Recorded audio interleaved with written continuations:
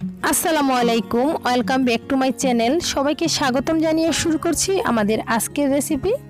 আমাদের আজকের রেসিপি হচ্ছে শুটকির রেসিপি। আজকে আমি সুরি শুটকি রান্না করব, আলু দিয়ে, আর সেই রেসিপিটা শেয়ার করব আপনাদের সাথে। আমি যেভাবে মাঝে মধ্যে রান্নাটা করি, সেভাবেই রান্না করে শেয়ার করব।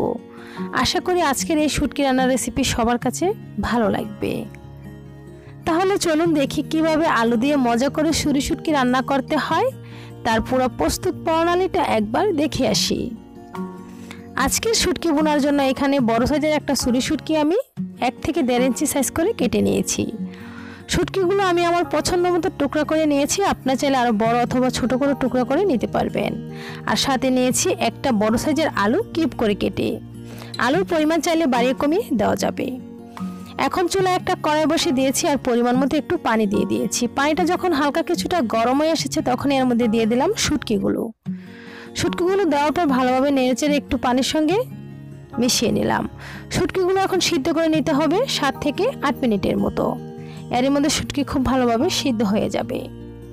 সুজি শুটকি কিন্তু ভালোভাবে সিদ্ধ না করলে রান্না করার পর খেতে শক্ত হয়। শুটকি সিদ্ধ হয়ে গেছে, চুলা থেকে নামিয়ে খুব ভালোভাবে শুটকিগুলো আমি ধুয়ে নিয়েছি। আর মাঝখান থেকে কাটাটা আমি ফেলে দিয়েছি। আবারও চুলায় চলে গেলাম রান্না করতে।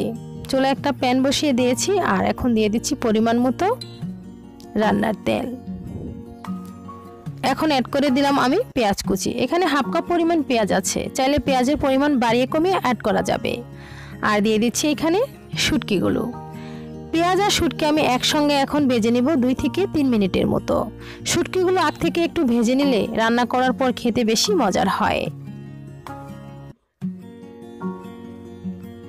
আমি দুই থেকে তিন মিনিটের মতো শুটকিগুলো ভেজে নিয়েছি। দুই তিন মিনিটের মতো শুটকিগুলো তেলের সঙ্গে ভেজে নিলে সুন্দর একটা লালচে কালার চলে আসে। এখন অ্যাড করে দিব আগ থেকে যে আলুগুলো কিউব করে কেটে রেখেছিলাম সেগুলো এখন অ্যাড করে দিচ্ছি। আলু দিয়ে দিয়েছি। এখন ভালোভাবে নেড়েচেড়ে আবারও আমি একটু ভেজে নিচ্ছি। আর এখন অ্যাড করে দিচ্ছি আমি পরিমাণ মতো লবণ। লবণ কিন্তু বুঝে অ্যাড করতে হবে, কারণ শুটকিতে কিন্তু লবণ দেওয়া থাকে। লবণ দিয়ে আমি ভালোভাবে নেড়েচেড়ে মিশিয়ে নিলাম আর ভেজে নিয়েছি আমি দুই থেকে তিন মিনিটের মতো। এই পর্যায়ে কিন্তু চুলা রাসটা মিডিয়ামেতে ছিল। এখন আমি অ্যাড করে দিব এখানে রসুন বাটা আর লাল মরিচ বাটা। দিয়ে দিচ্ছি এখানে এক টেবিল চামচ পরিমাণ রসুন বাটা আরও অ্যাড করে দিচ্ছি এখানে আমি এক টেবিল চামচ পরিমাণ লাল মরিচ বাটা। আর এখন অ্যাড করে দিলাম আমি হাফ চামচের মতো হলুদের গুঁড়া। ঝালের পরিমাণটা চাইলে বাড়িয়ে কমে অ্যাড করা যাবে। সব কিছু দেওয়ার পর মিশিয়ে নিয়েছি, এখন অ্যাড করে দিলাম এক কাপ পরিমাণ পানি। পানি দেওয়ার পর আবারও নেড়েচেড়ে একটু মিশিয়ে নিলাম, এখন ঢাকনাটা ডেকে কষিয়ে নেব আমি চার থেকে পাঁচ মিনিটের মতো। এই পর্যায়ে চুলা আঁচটা বাড়ানো থাকবে আর ঢাকনাটা উঠিয়ে দু একবার নেড়ে দিতে হবে। মরিচ বাটা দিয়ে যদি শুটকি তরকারি রান্না করা হয়, এই শুটকি তরকারি খেতে বেশি মজার হয়। চাইলে একইভাবে মরিচের গুঁড়া দিয়েও রান্না করা যাবে, তবে মরিচ বেটে করলে বেশি মজার হয়। চার পাঁচ মিনিট পর ফিরে আসলাম, ঢাকনাটা উঠিয়ে নিলাম আর পানি দিয়েছিলাম। পানি কিন্তু সুন্দরভাবে শুকিয়ে গেছে, আলুও কিন্তু নাইনটি পার্সেন্ট সিদ্ধ হয়ে গেছে। আমি আবার একটু নেড়ে চেড়ে নিলাম, এখন অ্যাড করে দিব আমি পরিমাণ মতো কিছু কাঁচামরিচ।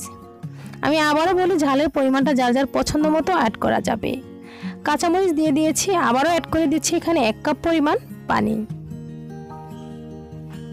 ঝোলের পরিমাণ চাইলে এখানে বাড়িয়ে কমিয়ে অ্যাড করা যাবে। আমি আর দিব না, এক কাপ পরিমাণ পানি দিয়ে ছুটকি তরকারিটা রান্না শেষ করব। এখন ঢাকনাটা ডেকে রান্না করে নিচ্ছি চার থেকে পাঁচ মিনিটের মতো। এই পর্যায়ে চুলা আঁচটা মিডিয়ামেতে থাকবে। আর ঢাকনাটা উঠিয়ে দিয়ে একবার নেড়ে দিতে হবে। চার থেকে পাঁচ মিনিটের মতো শুটকি তরকারি রান্না করে নিয়েছি। এখন ঢাকনাটা উঠিয়ে নিচ্ছি। শুটকি তরকারি রান্না হয়ে গেছে। শুটকি তরকারি রান্না করার পর কত সুন্দর একটা কালার এসেছে। কারণ আজকে আমি মরিচ বাটা দিয়ে শুটকি বোনা করেছি। তার জন্য কিন্তু কালারটা এত সুন্দর এসেছে। এখন চুলার জাল বন্ধ করে দিয়ে চুলা থেকে শুটকি তরকারিগুলো নামিয়ে নিব। চাইলে কিন্তু এখানে ধনিয়া পাতাও অ্যাড করা যাবে। তবে আজকের শুটকি তরকারিতে আমি ধনিয়া পাতা অ্যাড করব না। শুটকি তরকারি আমি পরিবেশন করে নিয়েছি। কে কে আমার মতন এরকম আলু দিয়ে সুরি সুটকি রান্না করে অবশ্যই কমেন্টে জানাবেন। আশা করি আজকের রেসিপি সবার কাছে ভালো লেগেছে। যদি ভালো লেগে থাকে একটি লাইক দিয়ে আমার পাশে থাকবেন। আর যদি আমার চ্যানেলে নতুন হন তাহলে সাবস্ক্রাইব করে পাশে থাকা বেল বাটনটি ক্লিক করে রাখবেন। আর যারা আমার সঙ্গে এতক্ষণ ভিডিওটা দেখেছেন তাদেরকে অসংখ্য ধন্যবাদ। আজ এ পর্যন্তই, আবারও দেখা হবে অনলাইনে নতুন কোনো রেসিপিতে আল্লাহ হাফিজ!